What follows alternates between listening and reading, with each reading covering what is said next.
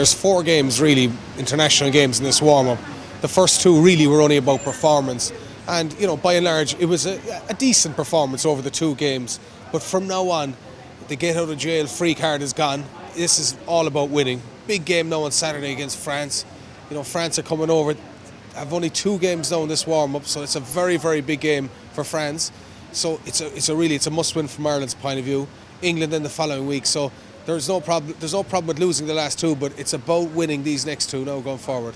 If you're looking at it from a management point of view, I'd say they're pretty happy. They're looking at it that they've managed to get all the way through here without any serious injuries, and they have a massive amount of players who've come back from injury and are now available again. The Ferris, Geordan Murphys, Brian O'Driscoll, Gordon Darcy, all these guys now are available again.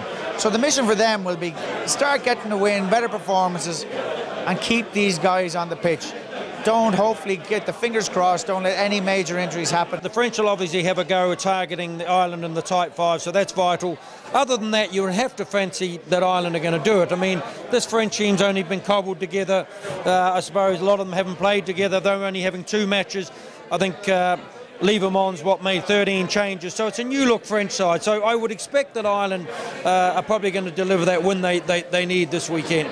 I'm looking forward to seeing Ireland to see how they'll start, get a few points on the board, you know, develop a few combinations. That will then give Declan Kidney a chance to bring on some of the other players, have a look at them. France team expect a strong, strong uh, Irish side with uh, Brian O'Driscoll will come back and uh, Gordon Darcy, and also uh, all the front row and. Um, and uh, and the captain, Irish captain, then uh, I think that will be a great game and a tough game for France uh, on Saturday but uh, who knows?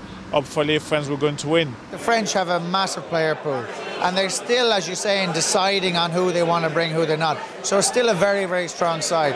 Ireland know what they have to do. They have to start the game strong. That's the one thing we haven't done over in France in a long time is start the game very well. So we have them back at home. We've beaten them here several times, and we have to continue on from there and I have to start the game well. And hopefully, we've been a bit lacking, I think, in the centre partnerships. But the O'Driscoll and Darcy partnership back there again, hopefully, start getting some tries on the board and the game improves. So I would be disappointed if we don't get a win.